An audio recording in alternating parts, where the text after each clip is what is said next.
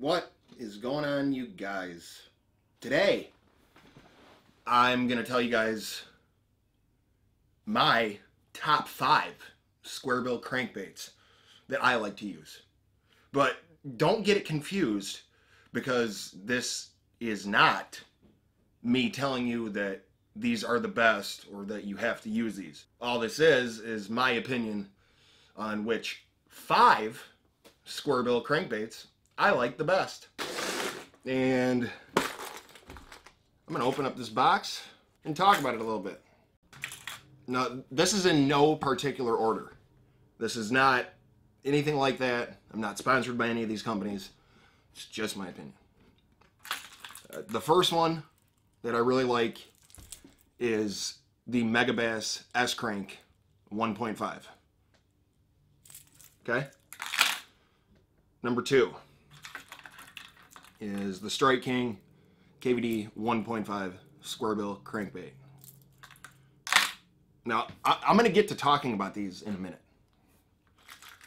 Number three, uh, you have the Rapala CRR3. It's a three foot square bill. The others were between three and six feet.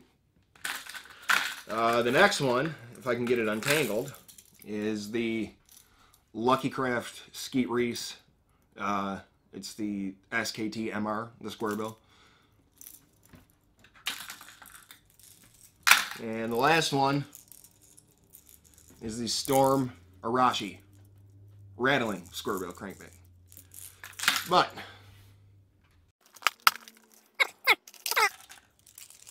to that Megabass S crank 1.5.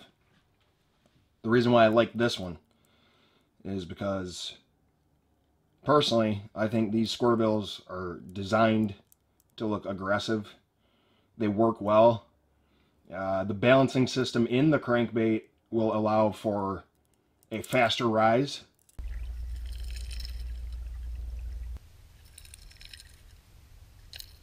And the hooks are almost perfect right out of the package. Now, this is one of the few square bill crankbaits that I do not have to change the hooks or change any of the rings or I just take out of the package, I use it, it's great. And you will notice, you know, like I said a second ago, when it's coming through the water, I've found that that's going to appeal to a lot of fish. You're going to watch it come through the water and it's going to it's going to have like an it like a wild hunting action.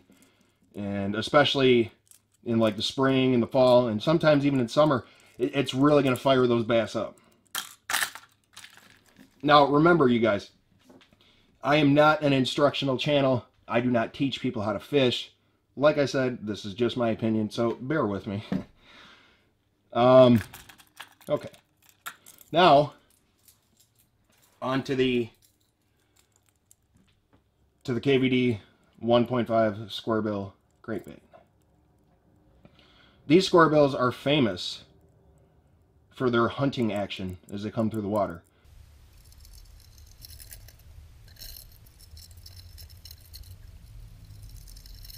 Now this is a silent square bill, okay? Uh, and the weight on this, this is a 3 8 size. Uh, these work really well. This is the gizzard shad color. But on these crankbaits, I will change the rings and the hooks because they're just not that good from the factory. And before I forget, I forgot to tell you guys, I apologize. This is the blue, this Megabass is the bluegill color, and it's a half ounce and it's also pretty sure yeah it's it's a silent it's a silent square bill for the most part anyway on to the next one the rapala crr3 uh, the zero i think it's a zero to three foot square bill i love these things. Now this fire tiger color is actually my favorite color to use in the summer uh, or in stained or muddy water. And you'll notice that you'll notice that the bill on this square bill crankbait is different than some of the others. And that is because, well, at least in my opinion, that when it's going through the water, it gives it a tighter wobble and it keeps it lined up when it's going through the water. And You know, I know some of you guys out there love catching pike. Some of you guys don't, but I've found that pike just destroy this thing. Up next, you have the Lucky Craft, uh, the Skeet Reese, the SKT MR Squarebill. And this will actually go, this will actually go, uh, pretty sure it's three to six feet. And this color in particular, this crawfish color, I really, really like to use that in the spring and even once in a while in the fall. And I've found that smallmouth absolutely destroy these square bills. But also, wait a minute, before I forget too, you'll notice that the body, you know, the design of the actual square bill, it's constructed very well. They hold up well. They still get chipped and the paint comes off and all that, but it's a good bait.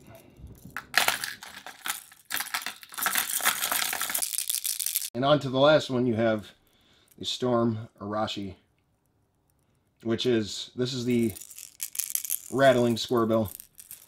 And you're going to notice that this square bill has a very unique appearance. And what I mean by that is it has the circuit board lip on it. It has kind of like, in my opinion, a, a different profile for a body of a square bill. It has the aggressive eyes, and I've found that the hooks on these baits, they're not perfect, but they are pretty good out of the factory. And it also has, before I forget, holy moly, I can't believe I almost forgot. It has, uh, I can't remember the exact name, but it has the line tie system, okay? And basically, whenever you tie your knot, you know, you tie your line, make it, tie your knot, it's gonna, no matter what, it is gonna be, it's gonna run true. It's gonna be, it's, that line tie design system is designed to where if you do not tie it like completely perfectly, it's still to work. One thing in particular that you are going to notice with this square bill crankbait is when it is coming through the water, if you're doing a steady retrieve, it's just going to be rattling and going crazy and just, you know, it's,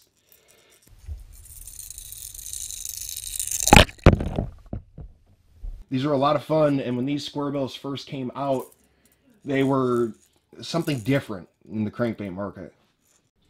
Now, anytime I fish with these square bill crankbaits, or just a square bill in general, no matter which one it is, the line that I like to use will vary on what I'm doing.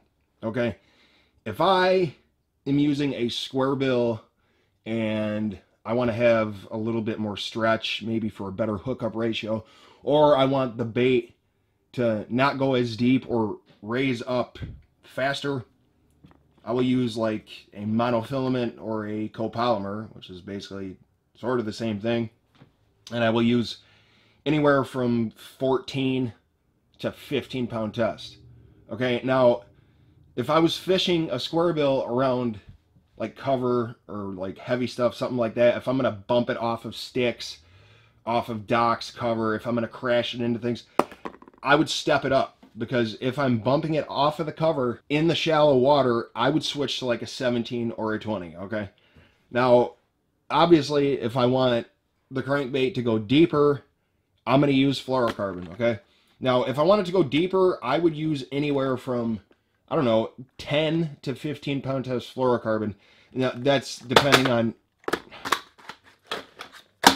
that's depending on where I'm at, what I'm doing, and stuff like that. But I'm sure all you guys already know that. Once in a while, I will use 20 pound test. Not all the time, but once in a while, I will.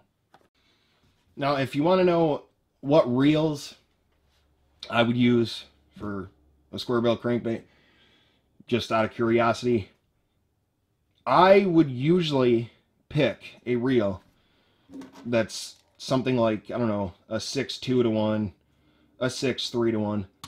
Something that is going to have in the area of 23 to 26 inches per turn.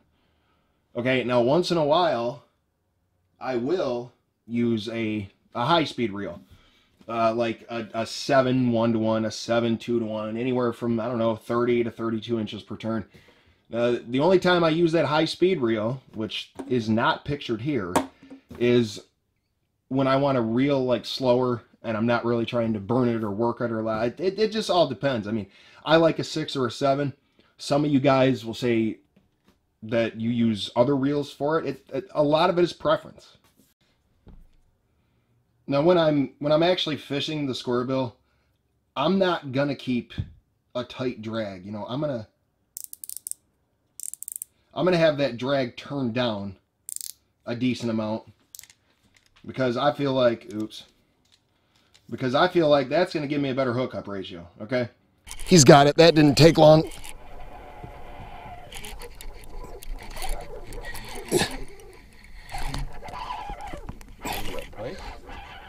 Yeah, that's a point. Let me get the net for you. Take your time. Give him some drag. It's it's just a little guy. I should be able to. And by the way, I loosened my drag.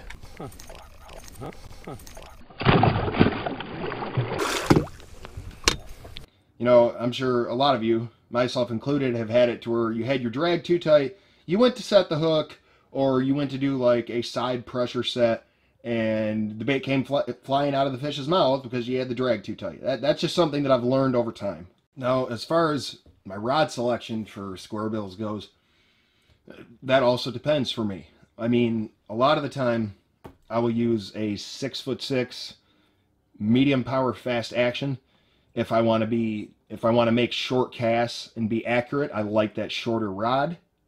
If I want to make a long cast and really load my rod tip, that's when I would select something like a seven foot or a seven foot one medium power moderate action rod to get that rod tip to load. You get that whippy tippy, you get a long distance.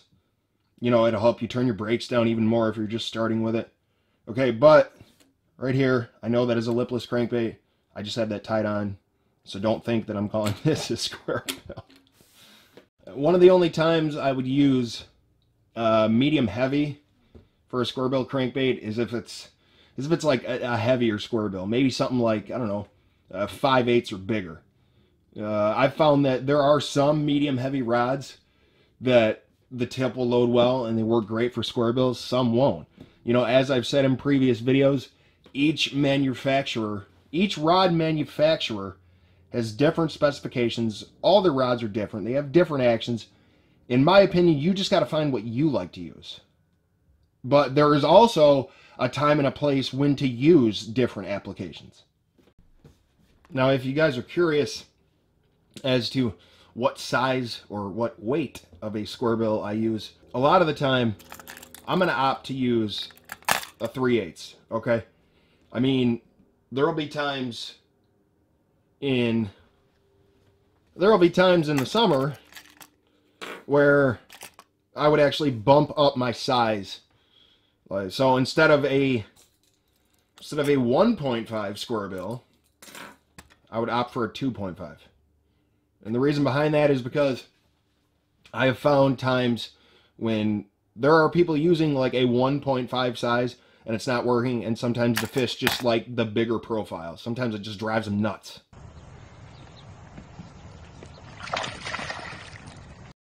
Now there's also times in the spring and fall or just whenever I want to downsize that I'll use a smaller square bill, like something like a like a 3 16 or a quarter ounce. But the majority of the time, I'm gonna use like a 3 8 or a half ounce. Like I found for me, like like the best success that I have with a lot of baits is either a 3 8 or a half ounce. Uh, a lot of the times when I will go up in size or go down will depend on the conditions or the seasons or excuse me, the season, as many of you know. These were just the square bill crankbaits that I like the best. And like I said earlier, you know, I, I, I am not an instructional channel. I do not teach people how to fish. The entire point behind my channel, because I know there's still some of you that would like to know, is I am an entertainment channel. Okay? I just I make fishing videos and I like to share my experience. You know, a lot of you guys know I work all the time and fishing is my side thing. And that's really the entire point behind it. And that's kind of why the whole thing got started.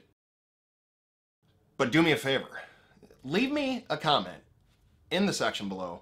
What is your favorite square bill crankbait?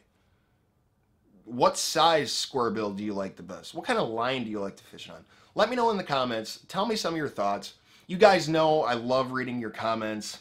I like seeing what you have to say And I know a lot of you guys are really good fishermen. A lot of you guys really know what you're doing. So, you know, you know, maybe I can even learn from some of you. So, you know, let me know.